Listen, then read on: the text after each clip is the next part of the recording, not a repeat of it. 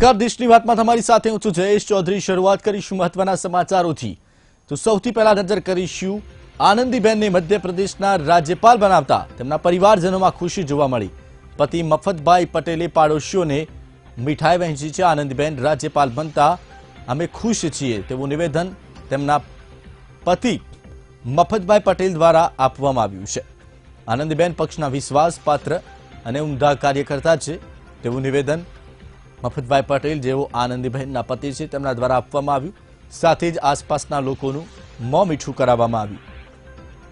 તો ખુશીની લાગણી તેમના પરિવારજનોમાં જોવા મળી રહી છે. પતિ મફતભાઈ પટેલે પાડોશીઓને મીઠાઈ વહેંચી અને આસપાસના લોકોનું મોં મીઠું કરાવ્યું. તેમજ આ નિર્ણયથી પરિવારજનો ખુશ હોવાનું પણ નિવેદન મફતભાઈ પટેલે આપ્યું છે.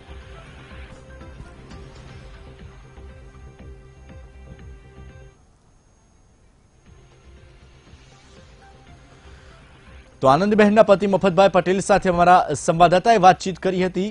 આવો સાંભળીએ તેમણે શું કહ્યું. મંત્રી આનંદીબેન પટેલને આજે મધ્યપ્રદેશના ગવર્નર રાજ્યપાલ બનાવવામાં આવે છે. ત્યારે આપણે મફતભાઈ પટેલ જે આનંદીબેનના પતિ છે આપણે તેમની જોડે વાત કરીશું કે તેમને કેટલી ખુશી છે. મફત કાકા ખાસ વાત કરીએ તો આજે આનંદીબેનને મધ્યપ્રદેશના ગવર્નર બનાવ્યા છે. કેટલી ખુશી છે શું કહેશો? એ સમાચાર જાણીને મને ખૂબ જ આનંદ થયો. એકદમ આનંદ થયો કે એક સારા કામ, સારા સ્થાને એમને મૂકવામાં આવ્યા છે. ખાસ વાત કરીએ કાકા, આનંદીબેન પટેલ સાથે આજે વાતચીત અત્યારે કરવામાં આવી. ત્યારે તેમનું એવું કહેવું હતું કે તેમને આ બાબતે કોઈ જાણ નથી, કે તેમને કોઈ હજી સુધી જાણ નથી કર્યો. તો શું કેન્દ્ર લેવલથી આ નિર્ણય લેવાયો છે અને એમને કોઈ જાણ નથી કરાઈ ના કરાઈ એવું લાગે છે તમને? ના એવું બની શકે કારણ કે સરકાર કેટલીક બાબતો ગુપ્ત રાખતી હોય છે. અને કોઈને પણ જાણ ન કરે. ઘણી વખત આપણને ખ્યાલ ન હોય ઘરની વ્યક્તિઓને પણ ખ્યાલ ન હોય અને એ લોકો નિર્ણય લેતા હોય છે. નિર્ણય લેનારા ઉપરથી લેતા હોય ફાઇનલ થયા પછી લોકો જણાવી શકે. એમાં ખ્યાલ ન પણ હોઈ શકે. એટલે એમની વાત સાચી છે એમાં ખોટું નથી. છેલ્લો સવાલ કાકા કરીશ કે જે પ્રકારે તેમને ગવર્નર બનાવવામાં આવ્યા છે મધ્યપ્રદેશના. ક્યાંક એવું લાગે છે કે પાટીદારો, જે પ્રકારે પાટીદારો સરકારની અગેન્સ્ટ થયા હતા, હવે ક્યાંક પાટીદારોને રીઝવવા માટેની સરકારની આ કોશિશ હોય? ના ના, એવું નથી. આનંદીબેને પાટીદાર તરીકે પોતાનો રોલ ભજવ્યો જ નથી. મુખ્યમંત્રી તરીકેનો રોલ ભજવ્યો છે. અને સ્વતંત્ર વિચારસરણી, દ્રઢ નિર્ણય અને પોતે વિચારતા હતા કે આ સત્ય છે, એ સત્ય કહેવાની તાકાત એમનામાં હતી. એટલે એમને એ રીતે, એટલે પાટીદાર તરીકે એમને રોલ ભજવ્યો જ નથી. એમણે જે કંઈ કામ કર્યું છે સારું કર્યું અને સારું કર્યા પછી પોતાની ઈચ્છા અનુસાર મુખ્યમંત્રી છોડી દીધું.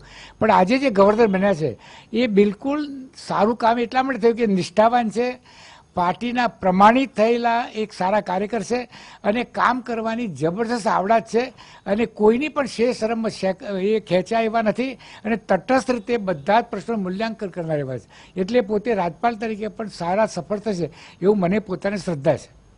આજે જ્યારે તમનું રાજ્યપાલ તરીકે નામ જાહેર થયું, તમે કઈ રીતે આ જે ખુશી છે, તેને કઈ રીતે સેલિબ્રેશન કરશો? બસ આ રીતે આનંદ અમારા મિત્રો આવ્યા છે, તે આજે તો કંઈ પેડા પેડા ખવડાવીશું અને આનંદ કરીશ, કારણ આ બધા મારા મિત્રો છે.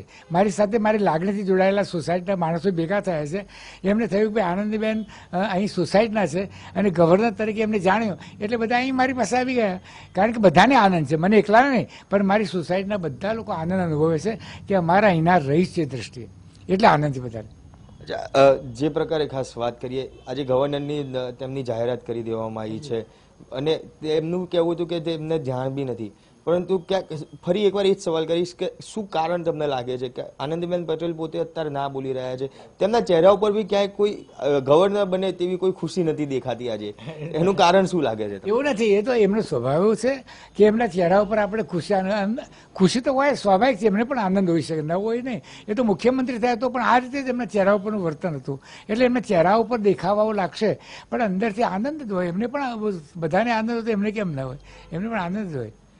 જ્યારે તેમને મુખ્યમંત્રી પદથી રાજીનામું આપ્યું, ત્યારે તેમને સાથે સાથે એવું બી નિવેદન આપ્યું હતું કે તે રાજકારણમાંથી સંન્યાસ લે છે. કોઈ જગ્યાએ તે ગવર્નર બનવા માટેની તેમની કોઈ તૈયારી નથી. એ વખતે બી એમને આ એવું સ્ટેટમેન્ટ આપેલું હતું. અને આજે ગવર્નર તરીકે બનવા જઈ રહ્યા છે. તો આ શું કહેશો આ બાબતને લઈ? ગવર્નરનું પદ એ કોઈ રાજકારણનું પદ નથી.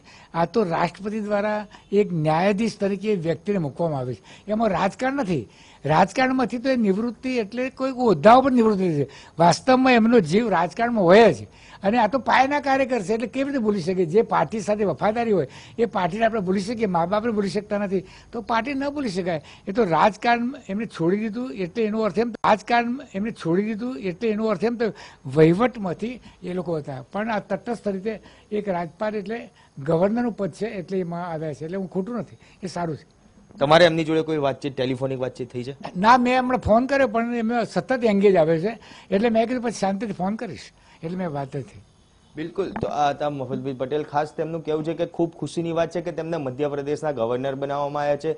જરૂરથી તેમને ચોક્કસ કદાચ જાણ ના થઈ હોય. પરંતુ કેન્દ્રના અમુક એવા નિર્ણયો છે કે જે ગુપ્ત રાખવામાં આવ્યો છે, તે કારણથી કદાચ આ વાત ગુપ્ત રાખવામાં આવી હોય. પરંતુ, જે પ્રકારે તેમના મધ્યપ્રદેશના રાજ્યપાલ બનાવવામાં આવ્યા છે, તે વાતથી લઈને તેમના આજુબાજુના જે પડોશીઓ છે, તેમના જે ખાસ મફત કાકા છે, તમામ લોકોની અંદર અત્યારે ખુશીનો માહોલ જોવા મળે છે અને તમામ લોકો અત્યારે એકબીજાનું મોં મીઠું કરાઈને જે ખુશી છે તે વ્યક્ત કરવામાં આવશે. કેમેરા પર્સન કિશન સનોલ સાથે મયુર મેવાડા, વીટીવી ન્યૂઝ, અમદાવાદ.